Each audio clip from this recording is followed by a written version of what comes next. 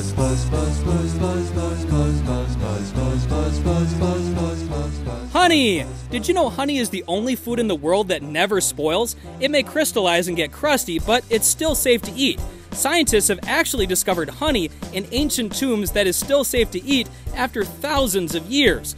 Beekeepers will take the honey out of the hives and bring it into their work area. They'll first cut some of the wax so the honey can come out of the frames. Then they spin the frames in a special machine that goes really fast. That spinning motion forces the honey out of the frames and into a collection tank.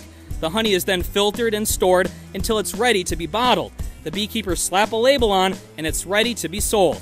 If you want to learn more about bees and beekeepers, check out our full episode on Job Jams and listen to our beekeeper song.